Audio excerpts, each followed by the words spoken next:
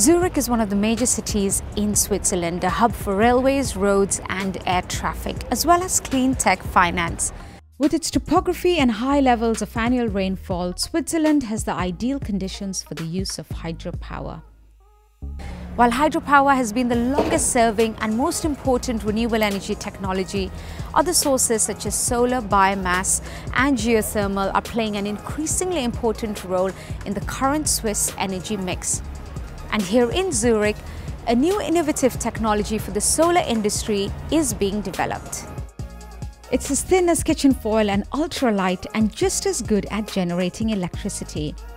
This jet black fully rollable technology made by Flisom is manufactured at its production facility in Niederhasli and the CEO believes the form that it can take can lead to endless possibilities. In buildings, as I mentioned, we can go around the building, not just on top of the building, or we can address different types of rooftops as well, you know, lightweight rooftops, curved surfaces, and all of these are applications which people want today. It's just that the technology doesn't exist, and that's what we are trying to address. Our technology offers uh, a great price performance ratio. So we are not talking about, let's say, a panoramic sunroof with, with, in a car with our technology, which is going to cost tens of thousands of dollars to integrate. Much, much lower than that. I mean, there could be other technologies which are really high efficiency, but they are extremely expensive. And so we think uh, the form factors along with the price performance ratio is what differentiates us compared to anything else out there. So just to give you a little demonstration of how thin the new material actually is, here we have a traditional solar panel, as you can see there. And here we have Flisom's new flexible solar module, which is very efficient and 98% thinner and lighter than what's currently available on the market. The researchers behind this technology have installed and tested it on their buildings.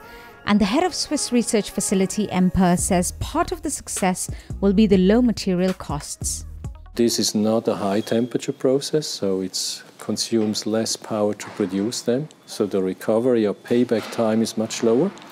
Moreover, it's an endless process. You can print it on a roll to roll, meaning like printing newspapers. And that's why it has several advantages while still having the same efficiencies as today's best uh, silicon solar cells. With the growth of electric vehicles and the demand in the energy sector changing, the financial backers of Flisom believes this technology is a sound investment and will disrupt the sector. As energy storage prices come down a lot, and we see them coming down a lot over the next five, ten years, that combination of uh, cheaper and ubiquitous solar energy and cheaper and ubiquitous storage is going to completely transform the energy sector. It's going to be a sector that will not resemble the coal, the massive coal plants which then distribute energy to households all over the, a region or a country. I think the energy sector of the next 10 years is going to go through a lot of very interesting and very positive disruptions. The solar industry has seen a huge growth over the last decade, becoming the world's favorite type of power generation last year and creating thousands of jobs and it seems innovative and next generation technologies like Flisom's could help revolutionize the solar sector. Priyanka Shrestha, Energy Live News, Zurich.